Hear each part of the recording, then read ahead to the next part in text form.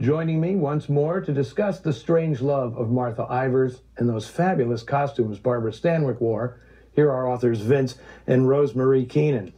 Okay, how about that ending? Right, that has got to be one of the best in all of film noir. Hands Still down. startling. Yes. Yeah, fantastic. And there's, you were telling me that there was a particular thing about the dress at the end of the film, like an onset problem or something. There was because that beaded waistline um, had some sparkle to it. But when they went to do the close up where Kirk Douglas's gun is pushed up against the waistband, it was causing problems with the lighting.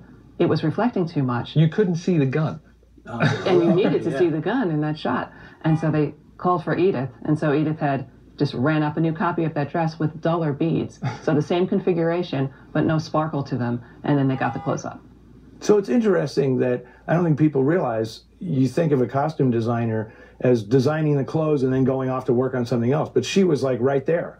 She was right there on the set to fix that immediately, right? Yeah, that's the way she tells the story. yeah, that is that is fantastic, and and I love this ending with you know the where she pulls the gun towards her, and there I've heard great stories about how this was conceived, right? Yes. and and you know I don't know if it's true, but I want to believe it so badly As do we. that um, that this was Barbara Stanwyck's idea because she got it from Owney Madden, the, the gangster, the New York gangster, who she knew quite well back in the day When she was uh, a dancer. When she was a dancer down in the Deuce, you know, at 42nd Street, and uh, a guy like came up to accost Owney Madden with this gun, and he he grabbed it and pulled it towards him and like dared the guy to shoot him, figuring that it was actually kind of safer to do this, and he lived through it, you know, instead of being a target and running away from the guy, he like pulled him toward. And Stanwyck said, "Oh, I got the solution. How we're going to play this scene." And she recreated that moment. Right? yes. Absolutely Although- fantastic. Again, the version of this that I heard, we came across in doing our research that Lewis Milestone, the director, took credit for coming up with this idea and said he suggested it to Stanwyck, even though she's the one who personally knew Owney Madden. But again, in his version of, of events, he pitched the idea to her. She loved it, brought up her history with Owney Madden, and she and Kirk Douglas did all of the blocking themselves.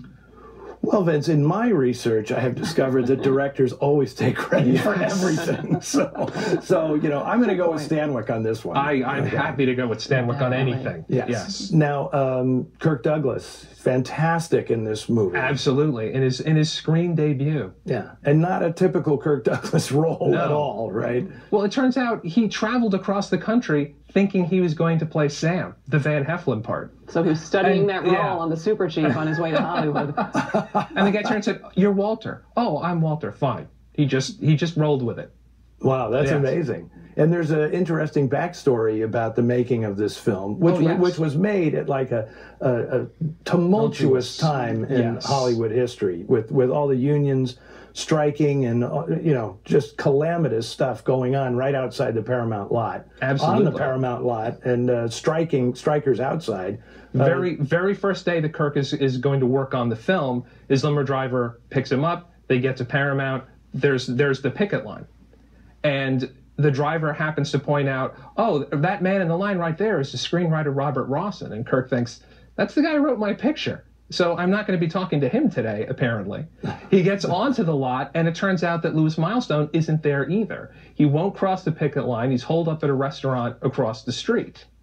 And the producer, Hal Wallis, says, Don't worry about it. We've got somebody else to, to, to direct you today. So there are a number of scenes in the movie that are directed by Byron yeah, the, the cinematographer, yeah. Yes.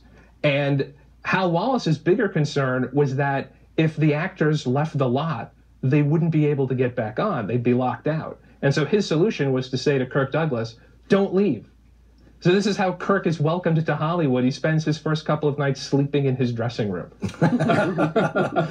Fantastic. Yeah. Well, he's dedicated. Yes, he is. Uh, now, I hope that uh, all of this calamitous stuff that we're talking about, I hope it finds its way into one of your books. Oh, we're already yes. planning that Right. one. Oh, yeah. Okay. Very good. All grist for the mill. Yes, because final plug. I mean, you guys have this fantastic series designed for dying, dangerous to know.